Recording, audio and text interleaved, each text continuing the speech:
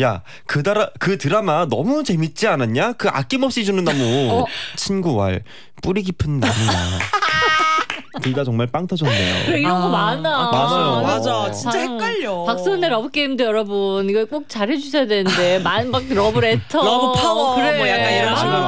그거 아니면 헷갈리게. 러브 게임이에요 네 5533님 팔색조 매력을 말하려는 걸 자연스럽게 칠면조 매력이라고 아 말했어요. 팔색조가 칠면조가 됐구나 아, 조로 네. 끝나니까 또 네네네. 같이. 아 귀엽네 팔색조 매력 야 너의 칠면조 매력을 뽐내봐 이거 귀엽다 그래도. 이건 좀 귀엽네요. 네, 칠- 이민서님 언니가 치과 가서 이랬대요. 치실 제거해 주세요. 아, 치석 제거를 치실 제거라고. 아 이거 치질 제거 치질 제거 해주세요 아, 치질 어떡해. 제거 아, 네, 어떻게 치질 제거라고 분야를. 잘못 네. 네, 찾아오셨는데요. 치석 제거군요. 네. 아, 5940님. 저 부모님 모시고 호캉스 다녀온 적 있는데요. 네. 1박 2일 조식까지 먹고 즐거운 시간 보내고 출입카드 반납하면서 로그아웃 해주세요 라고 했네요.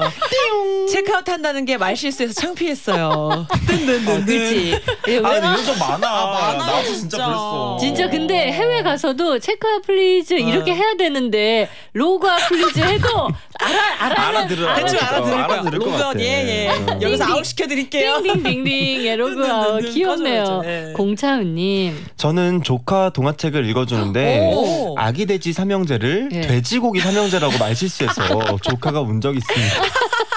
돼지고기 삼형제 벌써 아, 이미. 다 잡아먹었네. 예. 무섭네요. 아기 돼지들이 아. 성인이 네. 되기도 전에 고기가 돼버렸어요. 예. 돼지고기 잡아먹제. 늑대가 근처에 있었어요. 그러니까요. 아, 네네네. 예, 3700님.